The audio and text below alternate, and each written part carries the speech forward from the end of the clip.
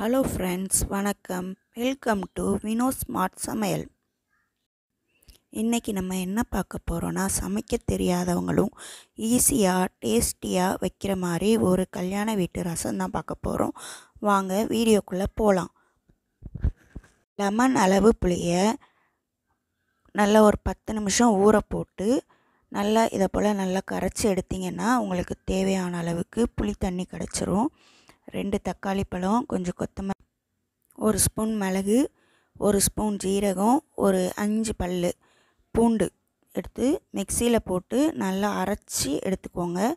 மிக் இதை மட்டும் போட்டு அரைச்சி எடுத்து தனியாக வச்சுக்கோங்க.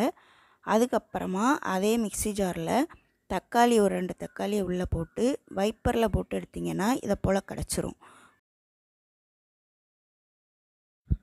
இப்போ அடிகனமான பாத்திரம் ஒன்று எடுத்து அடுப்பில் வச்சுக்கோங்க. கொஞ்சம் எண்ணெய் ஊற்றிக்கோங்க அதில் கடுகு வத்தல்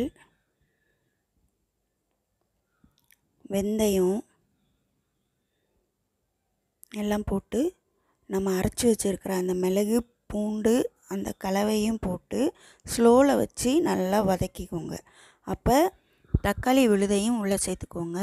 அப்புறமா மஞ்சப்பொடி உப்பு உப்பு எல்லாத்தையும் சேர்த்துட்டு நீங்கள் ஒரு ஒரு நிமிஷம் போல் ஸ்லோவில் வச்சு லைட்டாக கிண்டி விட்டிங்கன்னா நம்ம அந்த ஊற்றிருக்கிற எண்ணெய் தக்காளி விழுது அந்த பூண்டு மிளகு எல்லாம் சேர்ந்து ஒரு நல்ல வாசனை வரும். அதுக்கப்புறமா நீங்கள் வச்சுருக்கிற அந்த கொத்தமல்லி கருவேப்பிலையும் உள்ளே போட்டு நல்லா வதக்கிடுங்க லைட்டாக வதக்கிட்டிங்கன்னா உங்களுக்கு சீக்கிரமாக கெட்டு போகாது ரசம். அதுக்காக தான் இதை போல் பண்ணுறது டேஸ்ட்டும் நல்லா இருக்கும். இப்போ பாருங்கள் நல்லா வதங்கி வந்துருச்சு. இப்போ நம்ம கரைச்சி வச்சுருக்கிற அந்த புளி தண்ணியை இதை போல் வடிகட்டி இருந்துச்சுன்னா ஈஸியாக ஊற்றிக்கலாம் இதை போல் ஊற்றுனீங்கன்னா அதில் உள்ள புளி தண்ணி எல்லாமே கீழே இறங்கிரும். அந்த சக்கை மட்டும் மேலே இருக்கும். பிகினர்ஸ்க்கு இது ரொம்ப யூஸ்ஃபுல்லாக இருக்கும். இதை போல் ஒரு கரண்டி வடிகரண்டி வாங்கி வச்சுக்கிட்டிங்கன்னா. லெமன் அளவு புளிக்கு நம்ம ஒரு லிட்ரு தண்ணி போல் ஊற்றிக்கலாம் நம்ம கரைச்சி வச்ச தண்ணி கம்மியாக இருக்கிறதுனால இன்னும் கொஞ்சம் தண்ணி ஊற்றி அந்த புளியில் இருக்கிற எல்லா சாரையும் எடுத்துக்கலாம். எடுத்து ஊற்றினதுக்கப்புறம் இது போல் தான் இருக்கும். இது ஒரு ஹை ஸ்பீடில் இப்போ நம்ம அடுப்பு வச்சுக்கணும்.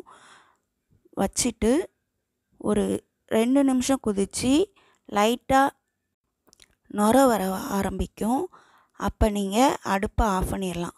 இதுக்கு மேலே கொஞ்சம் நீங்கள் தேவைப்பட்டுச்சுன்னா கொத்தமல்லி போட்டுக்கலாம். டேஸ்டியான இந்த ரசத்தை டேஸ்ட் பண்ணி பார்த்துட்டு லைக் பண்ணுங்கள் ஷேர் பண்ணுங்கள் சப்ஸ்கிரைப் பண்ணுங்கள் தேங்க்யூ